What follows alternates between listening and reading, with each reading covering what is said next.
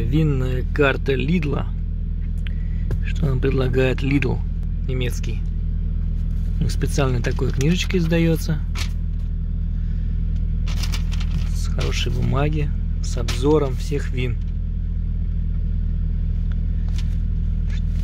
Разные вина. Ага. Кёхен.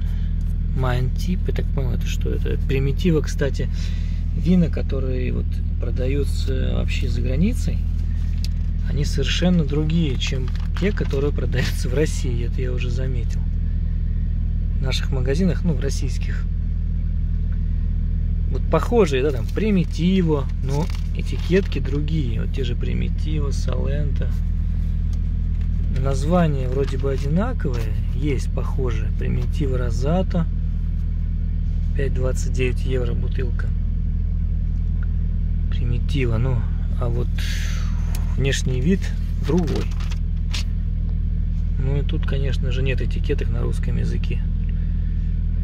У нас этикетки на русском.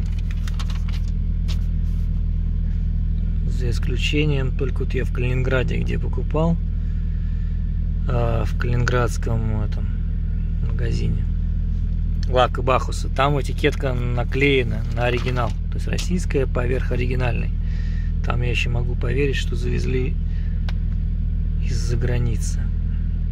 А в других в российских магазинах, так, ну, в, сети, в сетевых там, в том же красное и белое, там этикетки все чисто на русском языке. Не знаю, их наверное клеят, что ли, прямо на заводе. Кастьер из Деним. Это вот такое, да, это французское вино настоящее, Кастьерес. Это около Нима, это юг Франции. Виски, виски, виски, виски. Teachers Пэдди Абрахам. Рум, это ром, это ром. Это ром разный ром. У нас тоже, по-моему, другой немножко он какой-то я видел. Drinks for them камин.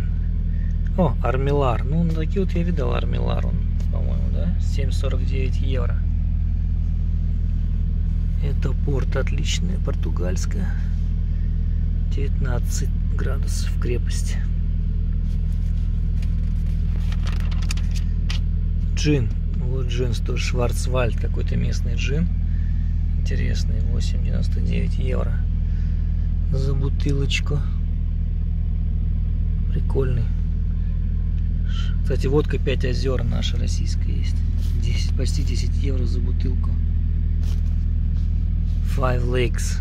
5 озер, 40 процентов.